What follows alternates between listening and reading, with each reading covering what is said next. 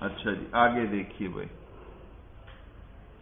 وجہ کا ان شمس القت ردا علیہ نقی اللون لم يتخددی وإني لأنظي الهم عند احتضاره بعوجاء مرقال تروح وتغتدي۔ أمون كألواح الإيران نصأتها على لاحب كأنه ظهر برجدي۔ طرفت ابن العبد کا معلقہ چل رہا ہے بھائی۔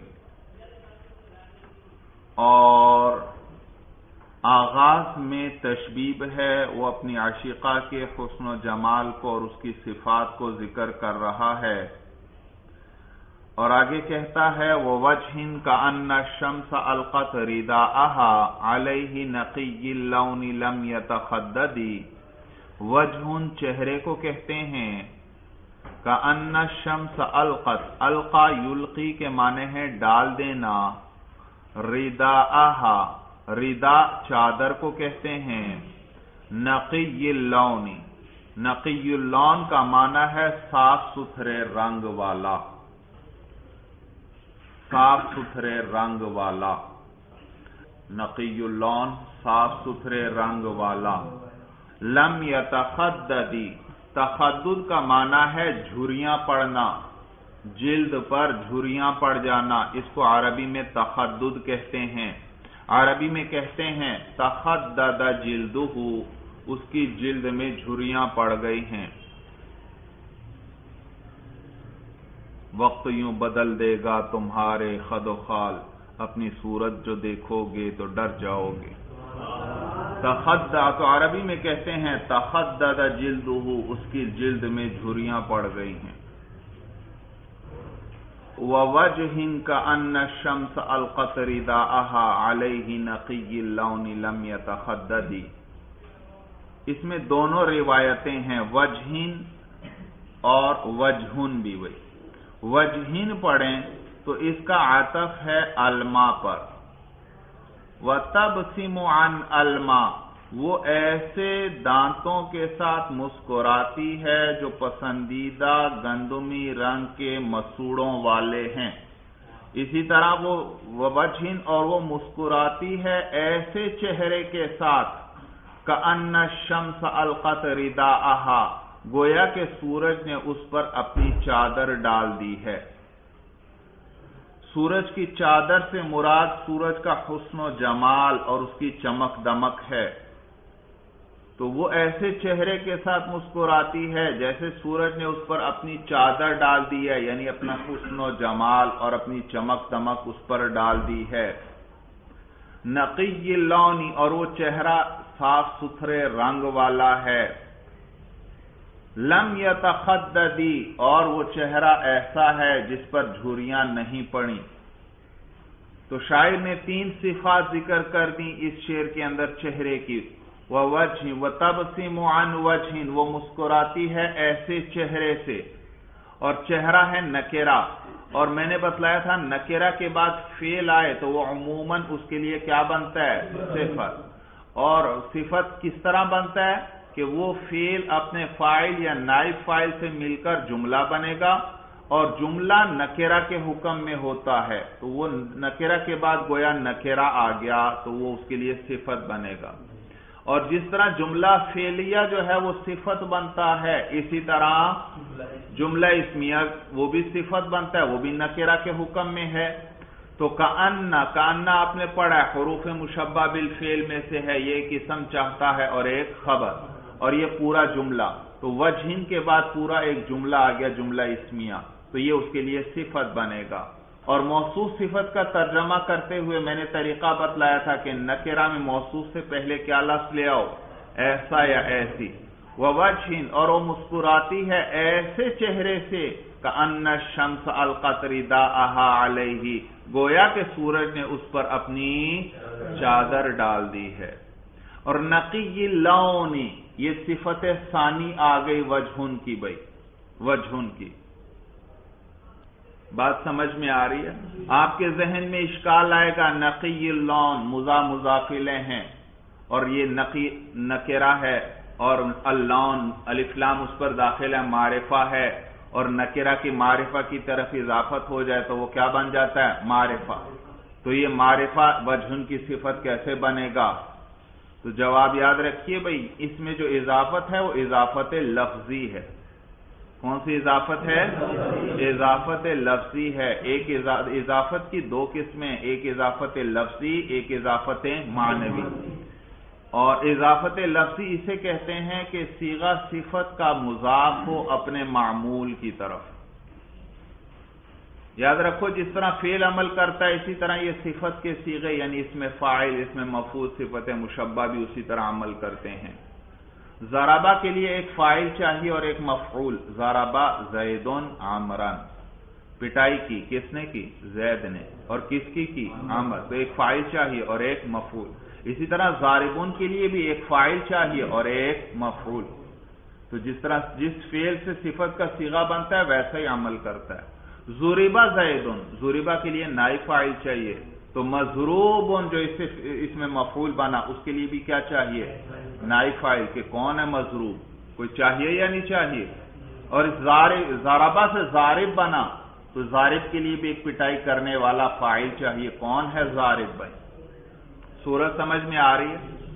تو یہ صفت کے سیغے بھی افیل کی طرح عمل کرتے ہیں یعنی فائل کو رفع دیتے ہیں اور مفعول کو تو فائل ان کا معمول ہوا۔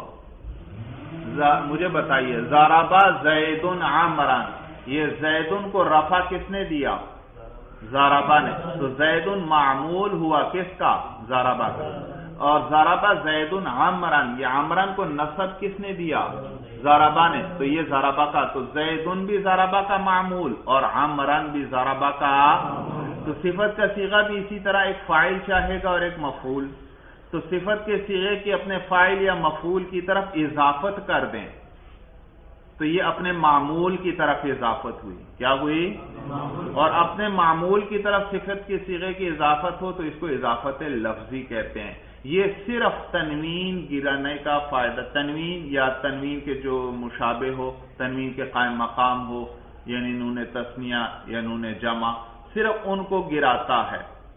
اور تفصیص یا تعریف کا فائدہ نہیں۔ تفصیل اور سن لو۔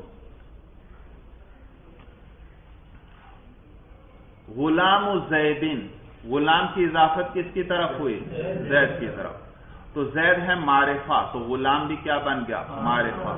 اب غلام و زیدن سے ہر غلام مراد نہیں، خاص زید کا غلام مراد ہے۔ تو یہ بھی معرفہ بن گیا۔ ایک متعین غلام پہ یہ دلالت کر رہا ہے۔ یہ تو تھا نکرہ کی اضافت معرفہ کی طرف کریں۔ اور اگر نکرہ کی اضافت نکرہ کی طرف کریں، تو پھر وہ تخصیص کا فائدہ دیتی ہے اضافت۔ غلام رجولن دیکھو غلام بھی نکرا اور رجل بھی۔ لیکن اس نے تخصیص کا فائدہ دیا۔ مرد کا غلام، معلوم ہوا، عورت کا غلام نہیں، عورت کے غلام اس سے نکل گئے۔ تو افراد کم ہو گیا نہیں؟ فرض کرو دنیا میں ایک لاکھ مردوں کے غلام ہیں، ایک ہی لاکھ عورتوں کے غلام تھے۔ تو جب میں نے کہا تھا غلام ان کتنے احتمال تھے؟ ہاں دو لاکھ احتمال۔ ہر غلام پہ یہ لفظ بولا جا سکتا ہے، چاہے مرد کا غلام ہو، چاہے۔ لیکن جب میں نے کہہ دیا غلام الرجولین اب صرف کتنے پر بولا جائے گا؟ اب صرف ایک لاکھ پر احتمال کم ہو گئے۔ اس کو کہتے ہیں تخصیص کیا کہتے ہیں؟ تو یہ جو عام اضافت ہوتی ہے، یہ تخصیص یا تعریف کا فائدہ دیتی ہے۔ معرفہ کی طرف اضافت ہو تو یہ تعریف کا فائدہ دیتی ہے، اور نکرہ کی طرف اضافت ہو تو غلام زیدین، میں نے کس کی طرف اضافت کی؟ زید یعنی معرفہ کی طرف۔ تو یہ تعریف کا فائدہ دے گی یعنی اس نے غلام کو بھی معرفہ بنا دیا۔ اور غلام الرجولین میں نے کس کی طرف اضافت کی؟ نکرہ کی طرف. تو یہ تعریف کا فائدہ تو نہیں دے گی. ہاں تفصیل کا فائدہ دے گی. تو یہ جو یہ جو عام اضافت ہے، یہ تعریف یا تفصیص کا فائدہ دیتی ہے بھائی. جب بھی اضافت کرو گے، یا تعریف آئے گی، یا تفصیص اس کو کہتے ہیں اضافت معنوی. دیکھو، معنی کے اندر فائدہ دے رہی ہے تفصیص کا یا تعریف کا. جبکہ دوسری اضافت اضافت لفظی ہے. اضافت لفظی جس میں صفت کا سیغا مضاف ہو کس کی طرف؟ اپنے معمول کی طرف۔ اور یہ نہ تخصیص کا فائدہ دیتی ہے اور نہ تعریف کا۔ یہ صرف لفظوں کے اندر تخفیف کا فائدہ دیتی ہے، اس لیے اس کو اضافت لفظی کہتے ہیں۔ یعنی لفظوں میں کیا تخفیف آئی؟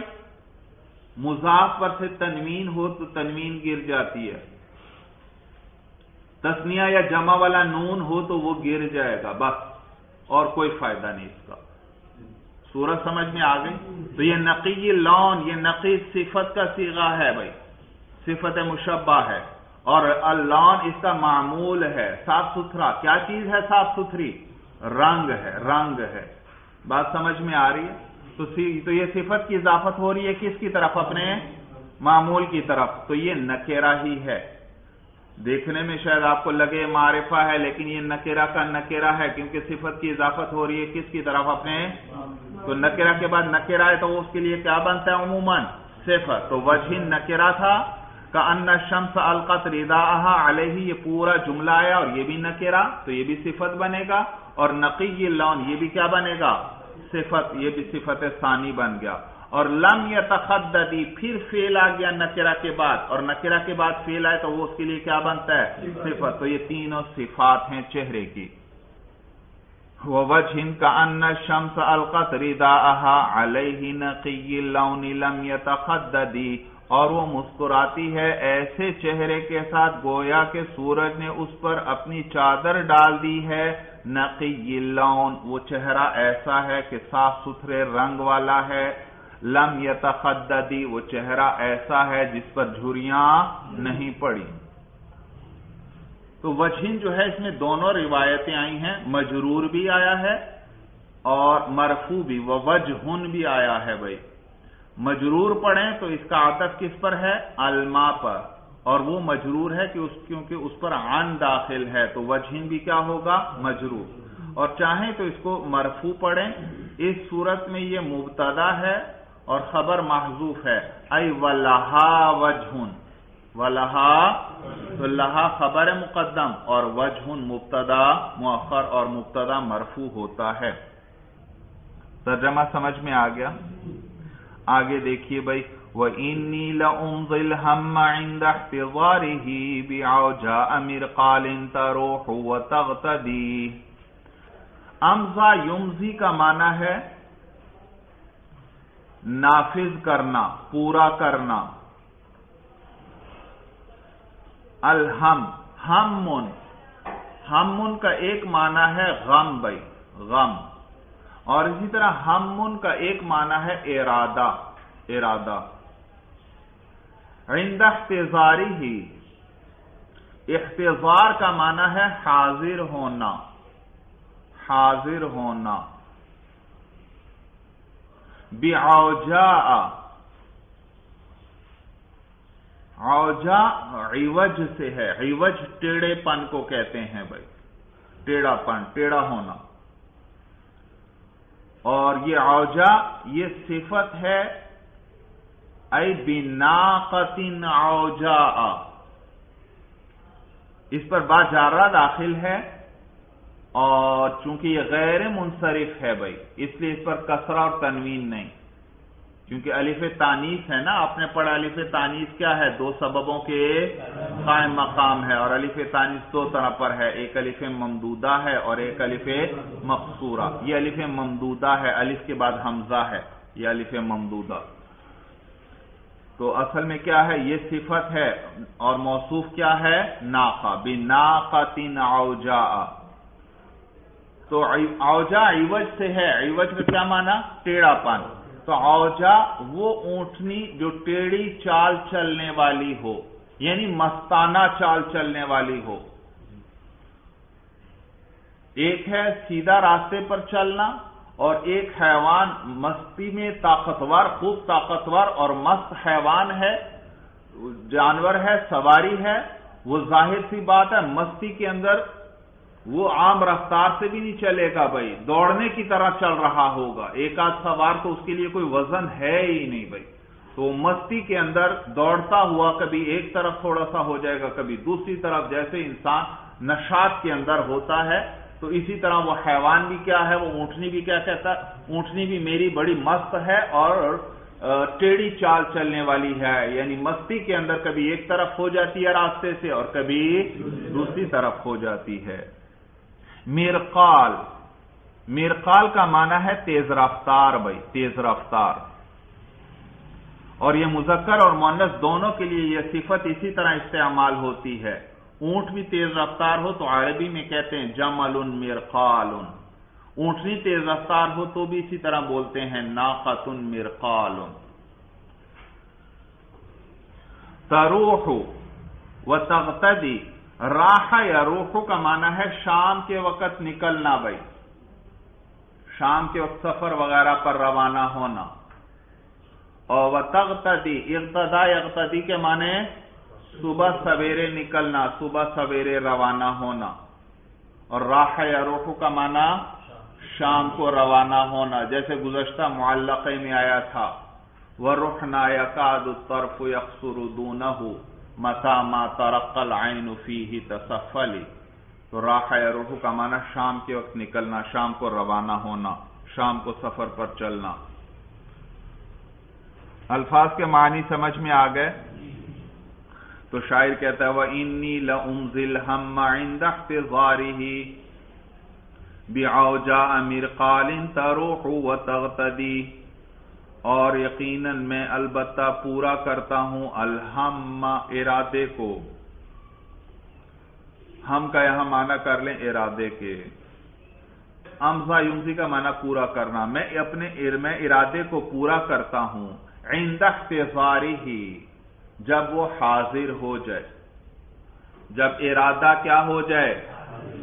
ارادے کے حاضر ہونے کا معنی ہے ارادہ بن جانا۔ ارادہ بن جانا۔ اور میں پورا کرتا ہوں ارادے کو جب میرا ارادہ بن جائے۔ بھی آؤ جا ایک مست چال چلنے والی اونٹنی پر مرقال جو تیز رفتار ہے، تروح و تغتدی۔ شام کو بھی سفر پر نکلتی ہے وہ تغتدی۔ اور صبح بھی سفر پر نکلتی ہے۔ یعنی بڑی طاقتور اونٹنی ہے۔ دن رات سفر میں رہتی ہے اور اس کو پرواہ بھی نہیں، مستانہ چال چلنے والی ہے۔ مانا سمجھ میں آیا؟ اوجا کا میں نے مانا کیا ٹیڑی چال چلنے والی بھائی، مست چال چلنے والی۔ جبکہ بعض شارحین فرماتے ہیں کہ اوجا سے مراد ہے دبلی پتلی بھائی۔ دبلی پتلی۔ انہوں نے اوجا کا ترجمہ کیا کیا؟ یہ کہ اس سے شاعر کی مراد ہے دبلی پتلی بھائی، کہ میری اونٹنی بڑی دبلی پتلی ہے یعنی اس کا پیٹ کمر کے ساتھ لگا ہوا ہے۔ تو بھائی، پھر اس کو اوجا کے ساتھ کیسے تعبیر کیا؟ دبلی پتلی، اس کا کیا مانا کہتے ہیں مانا یہ ہے کہ میری اونٹنی کا جو پیٹ ہے، کمر کے ساتھ لگا ہوا ہے خوب چھوٹا پیٹ ہے تو جس کی وجہ سے اس کی ساخت کچھ ٹیڑھی سی معلوم ہوتی ہے۔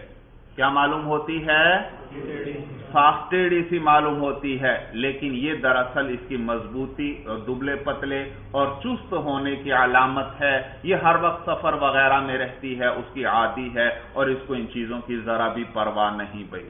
تو دبلے پتلے بدن والی ہے۔ اس کو کس سے تعبیر کیا؟ اوجا سے۔ اسی طرح میں نے ترجمہ کیا تروخ و تغتدی، کہ وہ شام کو بھی سفر پر نکلتی ہے اور صبح بھی سفر پر نکلتی ہے۔ شام کا یہ معنی نہیں، بالکل شام کو، بس نصف یوم کے بعد جو ہے، جو سفر ہو، سفر پر روانہ ہو، نکلے، وہ سارا راہ یا روحو کے اندر داخل ہے بھائی۔ اس کو کیا کہیں گے؟ شام کو سفر پر نکلنا۔ اور ایک ہوتا ہے صبح، بالکل آغاز یوم یعنی بالکل صبح سویرے منہ اندھیرے سفر پر نکلنا، اس کو کہتے ہیں اغتدا بھائی۔ مانا سمجھ میں آ رہا ہے؟ تو میں نے کیا ترجمہ کیا؟ تروخ و تغتدی وہ شام کو بھی سفر پر نکلتی ہے اور صبح بھی سفر پر نکلتی ہے یعنی ہر وقت سفر میں رہتی ہے۔ خوب خوب مضبوط اور خوب سفر کرنے والی اونٹنی ہے۔ جبکہ بعض شارحین نے لکھا کہ مانا یہ ہے، شاعر کہنا یہ چاہتا ہے کہ وہ میری اونٹنی اتنی تیز رفتار ہے کہ جب وہ صبح کو سفر پر نکلتی ہے تو شام کا سفر بھی صبح ہی میں کر لیتی ہے۔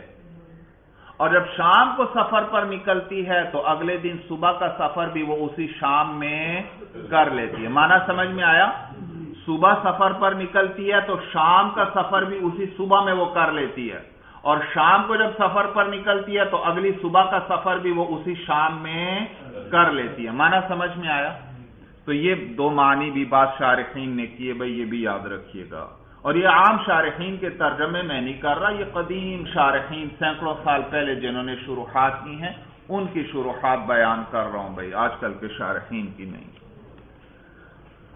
وَإِنِّي لَأُمْزِ الْهَمَّ عِنْدَ احْتِظَارِهِ بِعَوْجَاءَ مِرْقَالٍ تَرُوحُ وَتَغْتَدِي اور میں اپنے ارادے کو پورا کرتا ہوں جب وہ میرا ارادہ بن جائے ایک ایسی مستانہ چال چلنے والی تیز رفتار اونٹنی پر جو شام کو بھی سفر پر نکلتی ہے اور صبح بھی سفر پر نکلتی ہے۔ یا ہم کا دوسرا ترجمہ کر لیں۔ ہم کا دوسرا ترجمہ کیا تھا؟ غم۔ وَإِنِّي لَأُمْزِ الْحَمَّا اور میں غم کو پورا کرتا ہوں۔ یعنی میں غم سے چھٹکارا پاتا ہوں، اس سے اپنے آپ کو دور لے جاتا ہوں۔ اس غم کو میں ختم کرتا ہوں۔ احتزاری ہی جب کوئی جب وہ غم حاضر ہو جائے۔ یعنی میرے اوپر کوئی غم آ جائے، میرے آس پاس کوئی غم آ جائے، تو اس سے میں اپنے آپ کو اس سے بچا، اس سے دور کرتا ہوں۔ بیاؤ جا کس کے ذریعے ایک مست چال چلنے والی اونٹنی کے ذریعے جو تیز رفتار ہے، شام کو بھی سفر پر نکلتی ہے اور صبح بھی سفر پر روانہ ہوتی ہے۔ امون ان کا الواحل ایرانی لاحب ان کا انہو ظہر برجدی۔ بھئی یہ تشبیب کے بعد شاعر نے اب اپنی اونٹنی کی تعریف شروع کر دی۔ پہلے اپنی عاشقہ کے حسن و جمال کو ذکر کیا۔ اور اب اپنی اونٹنی کی صفات ذکر کر رہا ہے بھائی۔ اور عرب کا سب سے بڑا خزانہ ان کے یہ اونٹ تھے بھائی، کیونکہ وہاں پر وہاں پر کوئی زراعت وغیرہ تو ہوتی نہیں۔ ریگستانی علاقہ ہے، شدید گرمی پڑتی ہے، فصلیں وغیرہ نہیں ہوتی۔ یہی اونٹنی اور اونٹ وغیرہ جو ہیں، ان کا سب سے بڑا خزانہ انہی پر وہ سفر کرتے ہیں۔ انہی کے دودھ پی کر وہ گزر بسر کرتے ہیں، انہی کا گوشت کھا کر وہ زندگی گزارتے ہیں، تو یہ ان کا سب سے بڑا خزانہ۔ تو لہذا اب عاشقہ کے حسن و جمال کے بعد کس کو ذکر کیا؟ اب اپنی اونٹنی کی صفات ذکر کر رہا ہے۔ اور عموماً شعرا اس کے تشبیب کے بعد اپنی اونٹ وغیرہ کی صفات ذکر کرتے ہیں۔ تو اس میں اس بات کی طرف بھی اشارہ ہوتا ہے کہ میری عاشقہ اگرچہ یہاں سے کوچ کر کے جا چکی ہے سفر پر، لیکن فکر کی کوئی بات نہیں، میرے پاس ایک بڑی مضبوط طاقتور سواری اور اونٹنی موجود ہے اور یہ مجھے وہاں فوراً ہی اس کے پاس پہنچا دے گی بھائی۔ تو آگے کہتا ہے، امون ان کا الواحل ایرانی نفعتها علی لاحب ان کا انہو ظاہر برجدی۔ امون امون امن سے ہے، امن سے۔ امون امن والی یعنی بے خطر۔ وہ سواری جس میں یہ خطرہ نہ ہو کہ وہ اپنے سوار کو گرا دے گی یا پھسل کر گر پڑے گی اور سوار کو چوٹ لگے گی، تو ایسی بے خطر سواری کو عربی میں امون کہتے ہیں بھائی، امون، امن والی، بے خطر۔ کا الواح الواح کہتے ہیں تختوں کو بھائی۔ لکڑی وغیرہ کے چوڑے بڑے بڑے تختے ہوں، ان کو الواح کہتے ہیں بھائی۔ ایران ایران کہتے ہیں بڑے تابوت کو بھائی۔ وہ لکڑی کا صندوق جس کے اندر میت کو دفنایا جاتا ہے، اس کو تابوت کہتے ہیں۔ اور عرب کے ہاں عرب کے ہاں میت کو تابوت میں نہیں دفناتے تھے، لیکن کوئی ان کا بڑا سردار ہوتا تھا اور عظیم انسان ان کا ہوتا تو اس کو وہ بڑے تابوت کے اندر دفنایا کرتے تھے بھائی۔ تو ایران وہ بڑا تابوت بھائی۔ نفا توحا نفا فواد کے ساتھ بھی ہے اور سین کے ساتھ بھی ہے۔ نفا نفا اور نفا کا معنی ہے سواری کو تیز چلانا، ڈانٹ کر یا لاٹھی کے ذریعے مار کر سواری کو تیز چلانا۔ اس کے لیے نفا لفظ بولتے ہیں بھائی۔ سین کے ساتھ بھی یہ ہے اور فواد کے ساتھ بھی دونوں کا ایک ہی معنی ہے۔ اللہ لاحبن لاحب کہتے ہیں کھلے اور واضح راستے کو۔ کھلا اور واضح نمایاں جو راستہ ہو اس کو لاحب کہتے ہیں۔ کا زہر برجدی زہر کہتے ہیں پشت کو بھائی، پشت۔ برجد برجد کہتے ہیں دھاری دار موٹی چادر کو بھائی۔ دھاری دار موٹی چادر۔ امون بھائی، یہ مجرور ہے کیونکہ یہ صفت ہے اوجا کی بھائی۔ اور اوجا دراصل صفت کس کی ہے؟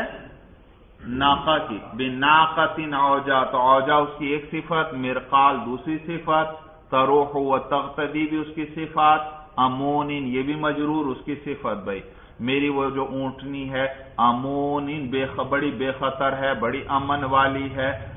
الواحل ایرانی، جیسے کہ بڑے تابوت کے تختے ہوتے ہیں۔ جیسے بڑے تابوت کے تختے ہوتے ہیں بھائی۔ بھائی تابوت بڑا ہے، اس کے خوب چوڑے چوڑے تختے ہوں گے۔ اسی طرح میری اونٹنی کی جو پشت ہے اور کمر ہے، وہ بھی اسی طرح خوب مضبوط اور ٹھوس اور چوڑی ہے یعنی اس پر سوار بیٹھا ہو تو یوں معلوم ہوتا ہے اسے جیسے میں کسی چوڑے سے تختے پر بیٹھا ہوں۔ بڑے اطمینان اور سکون سے کسی قسم کی تکلیف اسے نہیں ہوتی بھائی۔ مانا سمجھ میں آیا؟ کا الواحل ایرانی جیسے کہ تابوت کے تختے ہوتے ہیں نفا نفا تو ماضی ہے، ماضی بمانے مظاہرے کے بھائی۔ نفا میں اس دوڑاتا ہوں لاحبین کھلے وسیع راستے پر کا انہو زہر برجودی گویا کہ وہ ایک موٹی دھاری دار چادر کی پشت ہو۔ لاحب نکیرا آیا۔ اور نکیرا کے بعد پھر پورا جملہ اسمیہ آ گیا کا ان ظہر برجودی تو یہ اس کے لیے کیا بنے گا؟ صفر۔ تو میں اس کو دوڑاتا ہوں اعلی لاحبین ایسے کھلے راستے پر گویا کہ وہ موٹی دھاری دار چادر کی پشت ہے۔ وہ راستہ کس کی طرح ہے؟ دھاری دار چادر کی طرح ہے۔ کیا مانا راستہ دھاری دار چادر کی طرح ہے؟ بھائی دیہات میں خصوصاً اس کا مشاہدہ آپ کر سکتے ہیں اور خصوصاً ریتلے علاقے کے اندر اور زیادہ مشاہدہ ہوگا۔ کہ راستہ ہو، کھلا چوڑا راستہ ہو، اس پر آپ دیکھیں گے، ایک طرف اگر بکری کے پاؤں کے نشانات ہیں، دوسری طرف گائے کے پاؤں کے نشانات ہیں، تیسری طرف کسی انسان کے قدموں کے نشانات ہیں، چوتھی طرف ایک اور انسان کے قدموں کے نشانات ہیں، تو مختلف قسم کے یعنی اس پر نشانات بنے ہوتے ہیں، یوں لگتا ہے جیسے دھاریاں بنی ہوں بھائی۔ سورج سمجھ میں آ گئی تو وہ میری اونٹنی جو ہے امون کا الواحل ایرانی لاحبن کا انہو ظہر برجدی۔ وہ اونٹنی ایسی ہے جو بڑی ہی بے خطر ہے، جیسے کہ بڑے تابوت کے تختے ہوتے ہیں۔ میں اس کو چلاتا ہوں۔ ایسے کھلے وسیع راستے پر گویا کہ وہ دھاری دار چادر کی پشت ہو۔ جمالیت وجنا اتردی کا انہا سفن جتن تبریلی ازہر اربدی. جمالیتن، یہ نسبت ہے جمل کی طرف، جمل کی طرف. اور یہ نسبت، یہ تشبیح کے لیے ہے کہ وہ میری اونٹنی جو ہے، نر اونٹ جیسی ہے بھائی۔ ظاہر سی بات ہے، آپ بھی جانتے ہیں، ایک نر حیوان ہے، ایک مادہ نر کے اندر قوت زیادہ ہوتی ہے بھائی۔ زیادہ قوت والا ہے، زیادہ مضبوط ہوتا ہے۔ تو کہتا ہے، میری یہ اونٹنی بھی کس کی طرح ہے؟ نر اونٹ کی طرح طاقتور اور مضبوط ہے۔ تو جمالیہ نسبت ہے، کس کی طرف؟ جمل کی طرف۔ جمل نر اونٹ کو کہتے ہیں۔ نر اونٹ جیسی ہے۔ وجنا وجنا کہتے ہیں، بڑے رخسار والی، بڑے جبڑوں والی۔ یعنی خوب گوشت سے پر بدن ہے اس کا، خوب مضبوطی سے گوشت اس کے جسم پر بھرا ہوا ہے۔ تردی ردا یردی کے معنی ہے دوڑنا، بھائی ہلکی رفتار سے دوڑنا۔ ردا یردی اصل میں کہتے ہیں وہ رفتار جو دوڑ اور چلنے کے بیچ کی ہو۔ چلنے سے تیز اور دوڑنے سے کم۔ لیکن بہرحال یہاں مطلق دوڑنے کے معنی میں ہے۔ دی دوڑتی ہے۔ کا انہا سفن نجتن۔ سفن نجا کہتے ہیں مادہ شتر مرخ کو بھائی۔ مادہ شتر مرخ کو۔ تبری، برا یبری کے معنی ہے سامنے آنا۔ سامنے آنا۔ لزارا اظہار کہتے ہیں کم اور بکھرے ہوئے پروں والا۔ اظہار جس کے پر تھوڑے ہوں، بکھرے ہوئے ہوں، اس کو کیا کہتے ہیں؟ ازہر ازار اور اربد اربد کہتے ہیں خاکستری رنگ والا۔ اربد، خاکستری رنگ والا۔ خاکستری رنگ کون سا ہے بھائی؟ جی؟ ہاں بھائی، راکھ راکھ جیسا رنگ ہو، اس کو خاکستری رنگ کہتے ہیں۔ اردو میں بھی آپ پڑھتے ہیں، وہ چیز جل کر خاکستر ہو گئی۔ پڑھتے ہیں یا نہیں؟ ہاں یعنی راکھ بن گئی، جل کر راکھ بن گئی۔ تو راکھ جیسا جو رنگ ہے، اس کو خاکستری رنگ کہتے ہیں۔ تو اربد خاکستری رنگ والا۔ جمالیتن وجنا اتر دی کا انہا سفن جتن تبریلی اظہار اربدی۔ میری وہ اونٹنی جو ہے نر اونٹ کی طرح ہے، بڑی مضبوط اور طاقتور وجنا اور بڑے جبڑوں والی ہے یعنی خوب گوشت سے اس کا جسم پور ہے، بھرا ہوا ہے۔ تر دی وہ دوڑتی ہے کا انہا سفن نجاتن گویا کہ وہ ایک مادہ شتر مرغ ہے۔ دیکھو سفن نجا نکیرا آیا۔ اور تبری اس کے بعد فیل آیا اور نکرہ کے بعد فیل آیا تو عموماً اس کے لیے صفت اور موصوف صفت کا ترجمہ کرتے ہوئے موصوف سے پہلے کیا لفظ لاتے ہیں؟ ایسا یا ایسی نکرہ کے اندر۔ کا انہا گویا کہ وہ ایک ایسی مادہ شتر مرغ ہے، تبری جو سامنے آ گئی ہے۔ لِأَزْعَرَ اربدی ایک ایسے کم بکھرے ہوئے پروں والے خاکستری رنگ کے شتر مرغ کے سامنے۔ جو سامنے آ گئی ہے، بھائی جیسے جیسے جوان شتر مرغ مستی کے اندر مادہ کے پیچھے دوڑ لگاتا ہے اور مادہ جو ہے وہ اس سے اپنی جان بچانے کے لیے تیزی سے دوڑتی ہے۔ تو کہتا ہے میری یہ جو اونٹنی بھی ہے، رفتار کے اندر اسی طرح ہے، جیسے وہ مادہ شتر مرغ بڑی رفتار سے دوڑتی ہے اپنی جان بچانے کے لیے، میری یہ اونٹنی بھی اسی طرح بڑی برق رفتار ہے اور بڑی تیزی سے اس راستوں کو طے کرنے والی ہے۔ مانا سمجھ میں آیا؟ تو گویا تشبیح بھی یہاں پر ایک تو اونٹ کے ساتھ طاقتور اور مضبوط ہونے میں اور شتر مرغ مادہ شتر مرغ کے ساتھ تشبیح دی، تیز دوڑنے کے اندر اور رفتار کے اندر۔ جو مالیت وجنا اثر دی، کا انہا سفن جتن تبریلی ازہارا اربدی۔ میری اونٹنی جو ہے، وہ نر اونٹ کی طرح ہے، بڑے رخسار والی ہے تردی وہ دوڑتی ہے۔ گویا کہ وہ ایسی مادہ شتر مرغ ہے۔ تبریلی اظہار اربدی، جو سامنے آ گئی ہو۔ کم بکھرے ہوئے پروں والے خاکستری رنگ کے شتر مرغ کے یعنی اس کے سامنے آ گئی ہو۔ شتر مرغ جو ہے، اس کا بچہ جب انڈے سے نکلتا ہے، تو زرد رنگ کا ہوتا ہے اور اس کے پر بھی اس پر زیادہ ہوتے ہیں۔ لیکن جوں جوں بڑا ہوتا چلا جاتا ہے، اس کے پر کم ہوتے چلے جاتے ہیں اور آہستہ آہستہ خاکستری رنگ کے ہو جاتے ہیں اس کے پر۔ تو یہ کم اور بکھرے ہوئے پروں والا اور خاکستری رنگ کو ذکر کیا، مراد جوان شتر مرغ ہے۔ کیا مراد ہے؟ ہاں جوان۔